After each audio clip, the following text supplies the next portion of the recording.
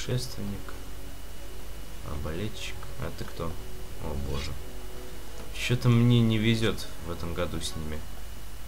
А ну-ка давай. Плясать, выходи. Оглушен. Да я ж его не убил, идиотина. Я его оглушил только. Фу ты. Ну, вообще, конечно. Живого человека от мертвого не отличить.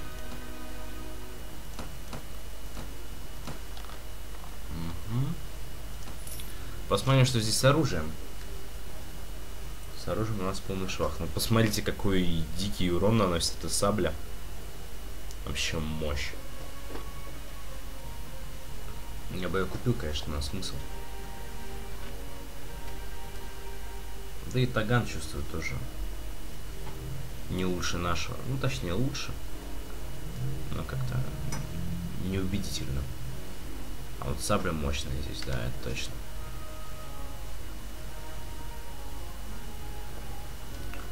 Это точно.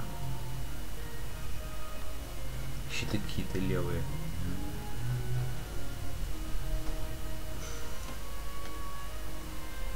Лошади, да. Лошадь у нас никакая. Так, верховая езда 5. Что же тебе такого-то особенного? Вообще не понимаю, что в тебе такого. А в тебе что такого? Верховая езда 6. Кому нужно это все? Почему тебя различаетесь? Нет, вы все одинаковые. 21, 45, 44, 28. Ага. Не, ну Гунтер, конечно, во всем лучше.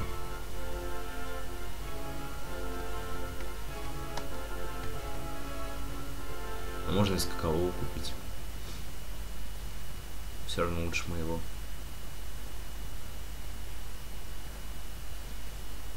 Намного лучше. Или кунтера. В общем, долго выбирать тут надо, конечно. Маневренность одинаковая.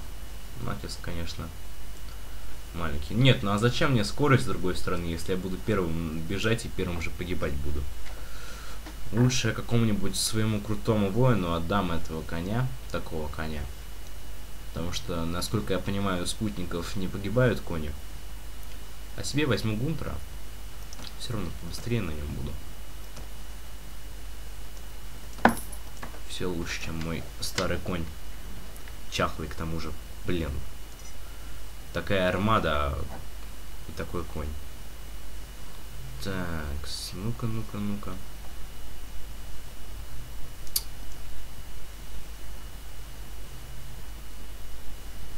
Вообще, конечно, у них организация у этих. Им нужна твердая рука. На самом-то деле. Ну и куда ты с восьмию воинами, блин, главнокомандующий хренов. Раненый к тому же. А, у тебя три воина в строю, да? Ну-ну. Да я тебя не догоню даже. Кошмар просто.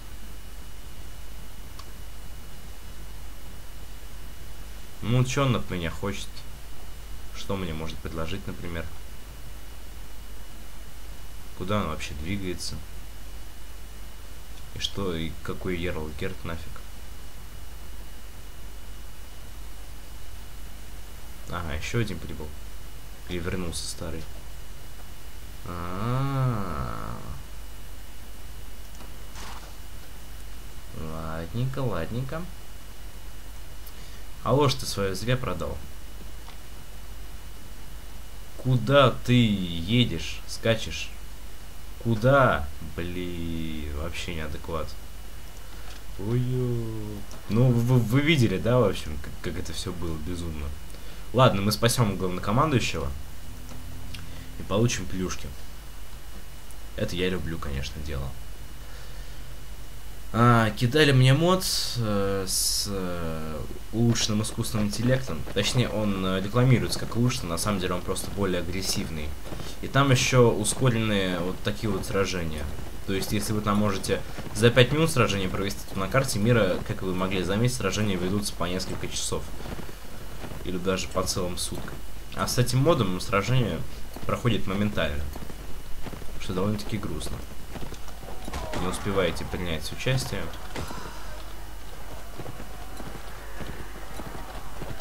Вообще говоря, оглушающее оружие чертовски полезная штука.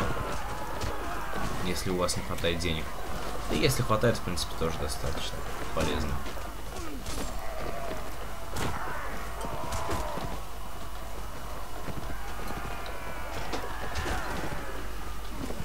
Помнится, я показывал вам мой сейф, где у меня было в плену 11 дворян вражеских.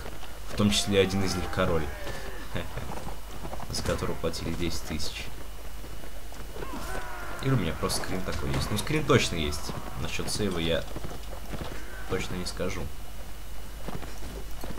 Тут, конечно, все как в Медивале. В Медивале, если вам когда-нибудь удавалось захватить в плен принца или короля, за него...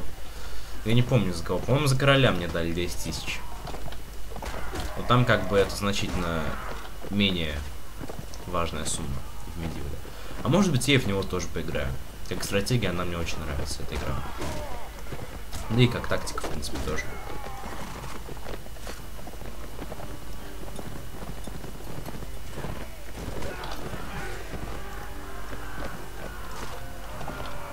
Йоху. Зато сколько мы взяли в плен. Да-да-да. На 8 единиц. На 4 единицы королевства. Вообще. Ну, мы разошлись, конечно. Так, два копейщика. Нам их нужно 6. В общем, зачете. Ветеран какой-то седой. Пехотинец. Ну и все, пожалуй. С остальными там дальше разберемся. Так, этого мы еще брать не будем. Мы теперь будем пробавляться пленными. Исключительно.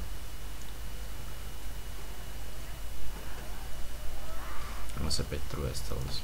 Ну, не цените вы себя, товарищ.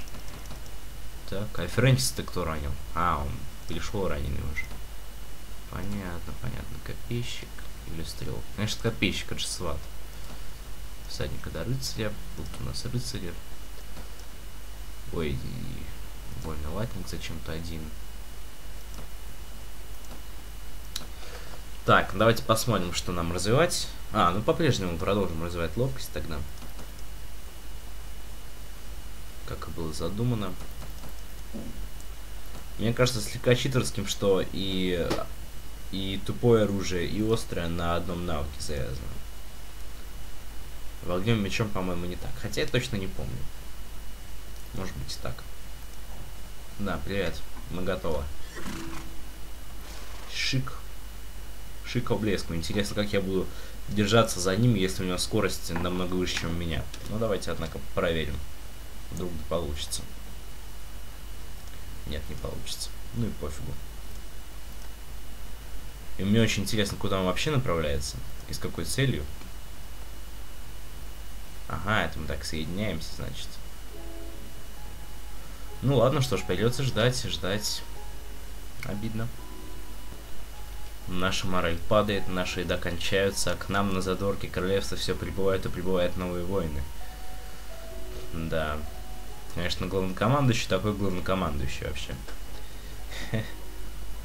Воинов в 8 раз меньше, чем даже у меня. Хотя я не самый слабый в этом тандеме вообще. Так, ну что ж, наверное, все. Наверное, о как.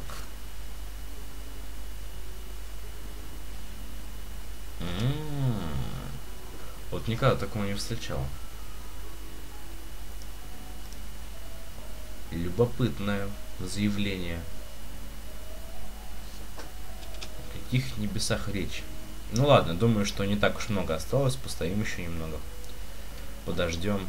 Неясно, почему собираемся здесь, а не, а не где-нибудь, допустим, здесь. Потому что все лорды вынуждены скакать вот отсюда, вот отсюда, вот отсюда, чтобы потом обратно скакать туда. Ну, я, конечно, преклоняюсь перед тактическим гением нашего главнокомандующего. Но думаю, что если меня главнокомандующим поставят, я с, э, не, с обычными до этой игры багами ничего не смогу сделать.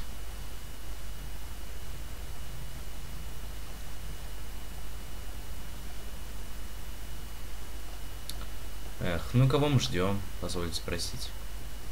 Почему бы не поехать уже куда-нибудь, не разгромить пару ярлов? Я абсолютно уверен, что главнокомандующий сейчас попрется в битву, поскольку он намного быстрее кого-либо другого. И вяжется в бой, и его разгромят. Прежде чем мы успеем что-нибудь сделать. И потом еще мы будем за это отвечать. Ну, бюрократы чертовы. Точнее, не бюрократ, а вообще опличнины на вас нету. Можно было бы и, бы и так сделать. Я абсолютно уверен, что сейчас они сразу соберутся куда-нибудь, как только лагерем встану, нет? Нет. Удивительно. Обычно, как только я встаю лагерем, все сразу собираются и куда-то уходят. И прям праздник какой-то. Сколько дней мы собираемся здесь стоять? Наверное, до конца войны. Ну, боже. Отлично. Это куда попер? Да, да, идиотина. Как я, как я до тебя добегу, если у меня скорость... Ё-моё. Кошмар, конечно.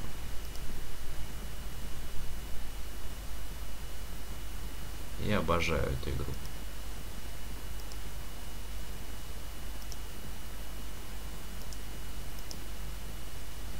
Почему бы ему нас не подождать?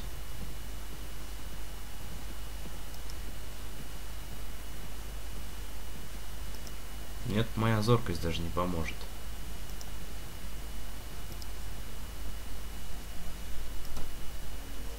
Сыр, но как же я это сделаю? Я вообще не представляю, где вы находитесь. Вообще ни малейшего представления не имею.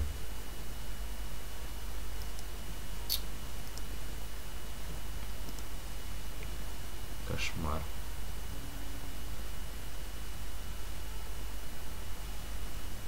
Ага. Ага. Что-то мне кажется, что я зря взял отряд двух спутников прям противоположных по мировоззрению. Ну, ну, ну, ну, стой, стой, остановись, гадина. Остановись, говорю тебе. Ты же сам поговорить со мной хотел. Фу, блин. Это ад. Ну, ладно, хоть разведка. А то я представляю себе, что было бы, если бы он заставил меня скот ему привести. Он будет носиться, значит, а я буду э, за скотом ему бегать. Так, ну ты мне не нужен нафиг вообще. Ну, с таким обмундированием я тебе не собираюсь нормального носить. Блин, находить обмундирование. Будешь так ходить. Точнее, сначала ты в, в королевстве родок. Пошалишь. Так, собственно, куда нам надо?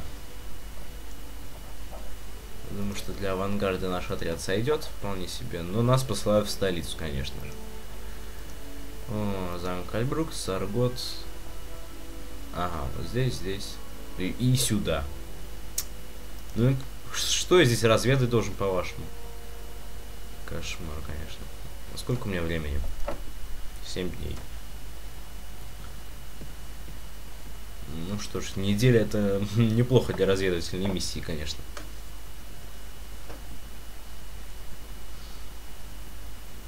О, а еще можем мстить.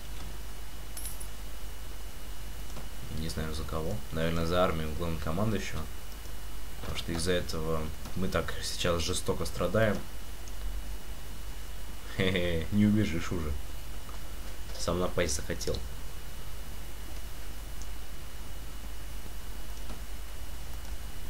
А, жаль, конечно, что у нас отношения были нулевые. Если бы были в минусе, я бы напал на него, не раздумывая. Да я и так на него напал, конечно. Если бы были в плюсе, я бы на него забил.